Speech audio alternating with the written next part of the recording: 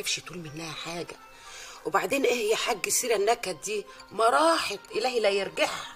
ما هو أنا قلبي مش هيرتاح ولا بالي يهدى غير لما أشوف المأذون بيعقد قرانه على بنت عبد المنعم بيه أبو شنب. يوه صحيح يا حاج فكرتني.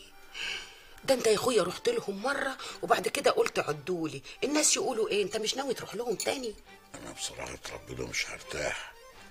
غير لما الواد ياخدني من ايدي ويقول لي تعالى نروح لهم يابا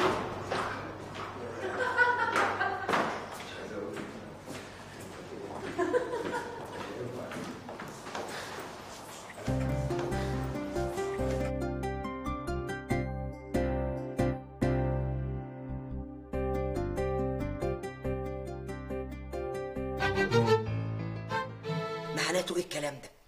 انت جبت الكلام ده منين يا بت؟ محسن جوزي شايفهم وهم خارجين من عمارة كبيرة وركبوا العربية مع بعض. الله معناته إيه الكلام ده يا نازك قولي لي انت يا فوزية معناته إيه الكلام ده؟ ده محسن بيقول ان البت وردة الحمل بان عليها قوي. هو اللي قالك كده يا سعاد؟ أيوه. يبقى اللي في دماغي حصل. هو إيه يا أختي اللي في دماغك ده؟ ما إحنا كلنا عارفين كل حاجة ولا هتعملي لنا فيها أم العريف؟ ولا أم العريف؟ لا بقى أنتوا كنتوا عارفين إن الحاج طرد البيت وأبوها وأخوها؟ وخلاص وكل واحد راح لحاله. أنا اللي قلت لكم إن الواد فتحي مش هيسكت. برع جوزي ده كده. كان عارف ومتأكد إن فتحي أخويا ناوي على المصيبة دي. يا سلام يا أختي. يعني جوزك هو اللي عرف؟ هو اتجوزها إمتى؟ مش مهم يتجوزها إمتى يا نازك المهم إنه اتجوزها والبنت حبلة منه. يا فضحتك يا مرات أبويا بهيجة. لا يا أختي قول يا وكستك يابا. وإنت بقى هتقولي لجوزك على كل حاجة.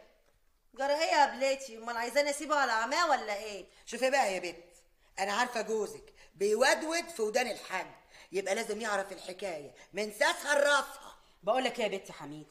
قولي لجوزك يكفي على الخبر ماجور لغاية ما يعرف كل حاجة. وبعد كده يروح يفرح الحاج بقى والست بهيجة بوكسة ابنهم التقيلة.